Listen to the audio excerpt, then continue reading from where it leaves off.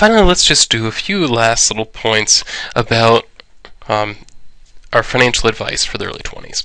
Uh, one is this idea of building credit. Now, what you will find is that early in your financial life, your credit score will actually matter. Uh, your FICO score, or credit score, uh, is used mostly for two things. Uh, one is when you're renting apartments, sometimes but not always. Um, some of the larger apartments will actually check your credit score. I, I, had that happen to me once when I was in graduate school. Um, but at the same time, we know that a lot of places you might rent are, are just run by, say, individual people, and they are somewhat less likely to check your credit score, but they, they might possibly do it. Okay, so renting apartments is one case. The other is qualifying for a loan, whether it be a car loan, a personal loan, a mortgage, what have you. But now remember, your goal at least for most people, is to make the FICO score irrelevant within a few years. Right? Eventually, what is going to happen is you're going to buy a house, in all likelihood, once you settle down. Um, although, I would note, there's nothing wrong if you just want to move around your entire life. That's fine too. Um, personally, it would not be for me, but that's possible. But most people are eventually going to want to buy a house and settle down, at which point their goal is really to pay off all their loans and not have to borrow money anymore in which case your FICO score won't matter. So, at the same time, early in your life, it will actually matter, especially as you're in your 20s and 30s. So, my goal, my idea there is for you to build a good credit score. Uh, apply for two credit cards. We like to see multiple accounts to prove that you can handle having multiple sources of credit, um, and then every month pay them off. Now, you don't have to carry a balance on your credit card in order to build credit. That's totally a myth. Um, Rather, it will appear on your credit report. You can actually get copies of your credit report yourself. You're allowed um, to get them from each of the um, agencies that keeps the credit reports once every year. Uh, so you can pull it up and all it's going to say every month that you actually pay at least the minimum payment, it will say paid as agreed. If you pay the entire balance, it will say paid as agreed. If you pay the minimum payment, it will say paid as agreed. Right, so it doesn't actually matter whether you pay the minimum payment or pay the entire balance in terms of building your credit credit score. Uh, actually, it ends up that carrying a low balance um, or no balance at all is quite helpful because it helps your credit score to have unused credit available to you. So keep that balance low or perhaps zero. That is actually helpful. Then once you have these two credit cards, only use them for things like rent or gas, these things that are probably not going to be affected by the fact that you're using a credit card. Another key point, something you don't want to forget about, and it's easy to forget about when you're relatively young, is insurance. Right? Insurance is very important because it helps you uh, avoid financial disasters. There are lots of things that can happen in our financial lives that can really cause serious problems for us that will burden us for years on end if we're not prepared for them. And in our early lives, we don't have a lot of savings built up, at least most of us don't. So it's absolutely essential, if you don't have much money, to have insurance. Because you need one of those two things to get through major expenses. Um, so, for example, health insurance is very important. Um, now, this is something where, um, since the Obama law passed, health insurance is something we don't even necessarily think quite as much about, oh, should I get it or not, because we all have to get it, or will have to get it in the relatively near future.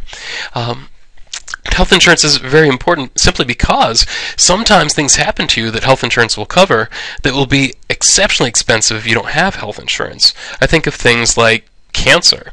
Right? Cancer is extremely expensive to treat.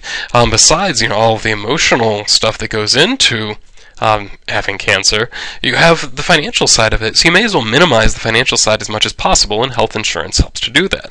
Um, disability insurance. It ends up anybody with a job in all likelihood has something that can happen to them that will make them unable to do their job anymore.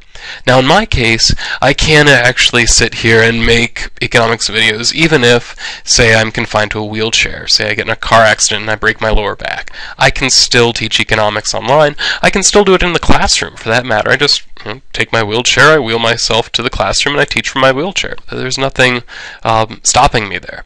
But at the same time, exactly the right, or I guess the wrong, type of head trauma would make it impossible for me to do my job. If I can no longer deal with words as poorly as I already do, if I can no longer deal with them in quite the right way, um, I'm not going to be able to teach. I'm not going to be able to lecture. I'm not going to be able to grade papers. Right? So there are all these things that can happen that will make me unable to do my job. For that reason, I carry disability insurance because these things do actually happen, and it is possible. And if it does happen, I want to make sure I'm prepared. Um, I'm also a fan of term life insurance if somebody's really depending on you being alive for their own financial well-being. In my case, uh, my wife is a freelance writer. Uh, freelance writers typically do not make a lot of money, nor do they make it um, on a consistent basis. So we're living mostly on my income being the consistent income we can count on. Um, I also have a son, another child on the way at the time that I'm making this video. Um, so these people are going to depend on the income that I provide. Um, if I were to go out and die in a car accident, something that does happen, uh, they're going to have serious problems financially. And apart from, and in addition to, the emotional burden, they're going to have to bear this financial burden. So to minimize that, we carry some significant term life insurance. Now at the same time, if you are really in a position where nobody's really depending on you and the income you can earn, for example, you're a single person, you don't have any dependents, right? You're you're not having to care for elderly, elderly parents, what have you, then odds are life insurance is a big waste of money to be perfectly honest. Um, I would also say that carrying life insurance on, say, children tends to be a waste of money. Um, anything beyond, say, helping to pay for their burial, um, you really don't need life insurance for them. After all, if my son dies, it's very tragic. Um, it's very sad. It's emotionally, it's a big burden, but financially, it's not. Right, so we need to think about where would there be a financial burden created and having insurance to cover us in that case. Um, also, renters or property insurance is a good idea. Renter's insurance you can get often for as little as 10 or $15 a month and will cover you in case, say, somebody breaks and steals your stuff or your apartment building burns down or what have you. It will help you to replace all of the stuff that you've lost. So renter's or property insurance is actually a reasonably good deal for the kind of coverage you're getting. Now, one thing I'd note is that some of these, once you get your savings built up, you may not necessarily need forever. Um, for example, term life insurance, odds are when you're 65, term life insurance will not be necessary anymore, because by then you should have enough savings built up that your ability to earn an income is not actually that important. Um, the same thing would go with, say, disability insurance. Um, once you've retired, well, disability insurance isn't quite as important. Health insurance becomes more important as you get older. Um, renter's insurance or property insurance generally becomes more important as you get older as well, as you have more stuff that could possibly be lost. Um, but as far as you have savings that can help you replace that stuff, and you're fine using the savings for that purpose, it may not be necessary to cover um, quite as much with insurance. Um, so there we go. To sum things up, about personal finance. Um, first, budgeting is really all about putting yourself in control, making decisions for yourself, and then sticking to those decisions. That's what the budget is for. Saving and investing is then built around protecting yourself from financial disasters and building wealth for the future. Important thing to keep in mind through all of this is that it's really a psychological battle.